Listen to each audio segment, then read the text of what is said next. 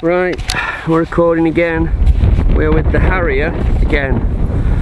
So, this is her. That centre section is missing. This time the receiver's closed down. That's all in there. That's glued on. This is being repaired. Um, as you can see with the nose, it's um, quite badly cracked and stuff, but after a load of pins, that's done that. It's actually ripped the um, the servo connections as well out of the wing and pulled them into the fuse, and they got trapped with all the motor wires and everything from the ESCs. I ended up having to just cut and rip a load of stuff out of there to get them so they could pull them back out. So I made a mess of that doing it. Basically, I'm not really bothered about her now.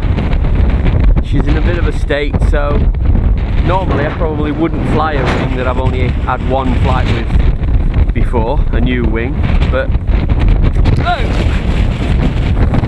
she's trying to fly on her own now. You can see how windy it is.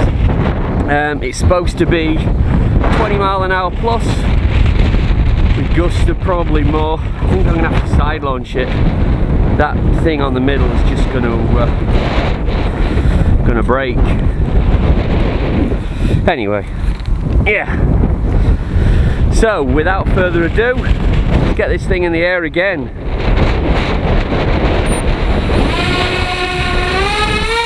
Half power.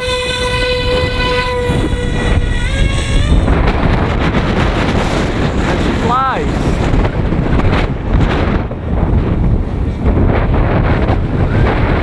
I'm using, hang on, let me get downwind a bit. I'm using the same battered four cell just in case, because if she goes down again,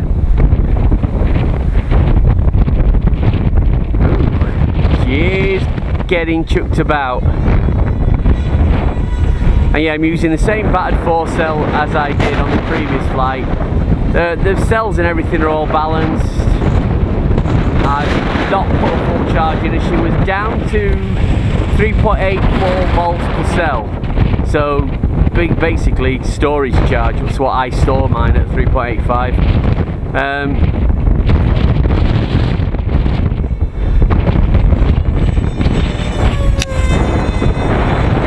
now is she banking left? Has something gone a bit of a miss, possibly?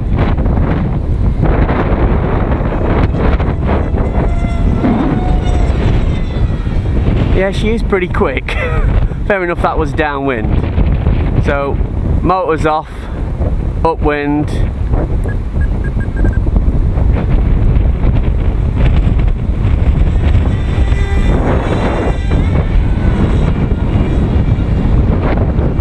Considering they're 2350 kV motors, she's not actually that noisy.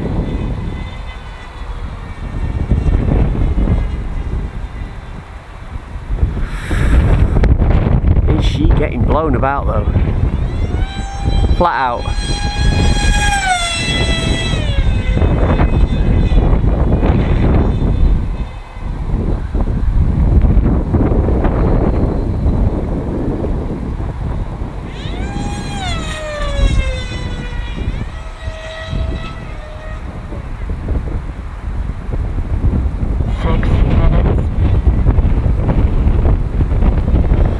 Orientation's a bit could definitely do with something on that grey foam in this um, against some grey skies. Particularly with my crap eyesight. I should have put my shades on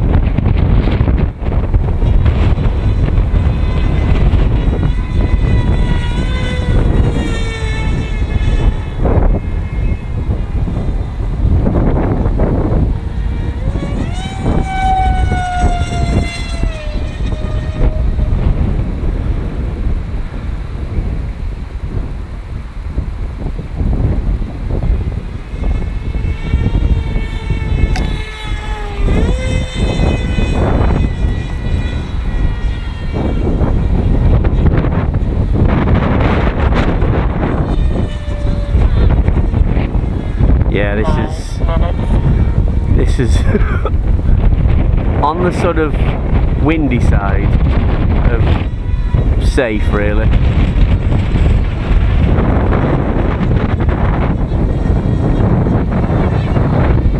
Particularly without a flight stab. If you've got a flight stabilizer to smooth things out a little bit, makes things a little bit easier.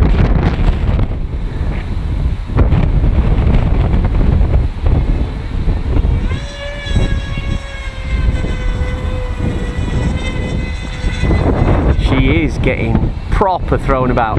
Um, I should say that there's supposed to be 20 odd mile an hour winds today. Um, definitely gusting way in excess of 20. And seeing as we're high up here, it always seems that it down, coming downwind. Come on baby. Going to call it a day I think. Discretion is a better part of valour and all that. She does fly.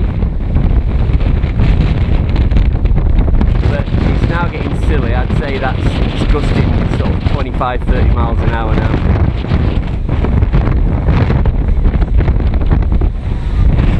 Come on. Come on. Come on. Yes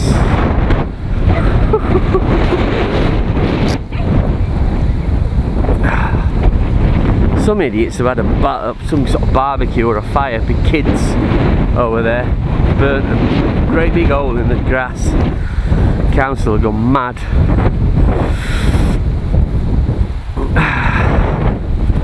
So I've even I've even kept the same old chip props and stuff. See there look. It's whacked on the end where it it sort of um, took a chunk. But actually it's the same receiver that's, that's not got damaged. So I don't know what it hit, whether it was that canopy that did that, or whether it hit, um, I think there's a wooden part on the underside, whether it hit that. But there's a little centre section there that should have been, should have been glued in. It doesn't say in the, in the instructions. Because the instructions, come around here, shade from the window a little bit. She probably can't hear me, but the instructions are rubbish. Blowing me up. I'll just make this safe now. So I've just rubber banded that on, which is what I perhaps should have done in the first place. Using that same. So that's that's cracked, it's a little bit. Could do with putting a bit of carbon or something into there. But that that believe it or not was fine so yeah the same receiver the the antennas and everything haven't been chopped so they haven't gone through that. Um, the PDB that I've got the um, ESCs hooked to seems to be fine. I've actually just put a dab of hot glue on that for now before I decide what I'm going to do. My plan was I was going to put the the wooden bit in. I'm going to put that PDB on the bottom and then do a little stack and put the iNav in. Lift the iNav that I've got pre-built from the Z84 and put that in here um, I don't know if I'm going to do that now she does fly nice but I just don't know if I can be bothered Mm, who knows? Maybe, maybe if somebody comes up with some uh, 3D printed hatches and I can get something over there. My only other thing is to make out a piece of Corex or something and then just fasten it on there and I can just um, either rubber band it with some of them little fasteners into here and hot glue them down or uh, goop them down and then rubber band rubber band to hold it down just so it, it closes that but um, yeah I got the nose bit as well. I've glued all that repaired all them I have no idea whether they'll work. It's not as uh, secure as it was but you can see look where the cracks it's all around there. To piece it back together. I want I wasn't sure it'd go back if I'd got all the bits to be honest. But uh, yeah she does fly.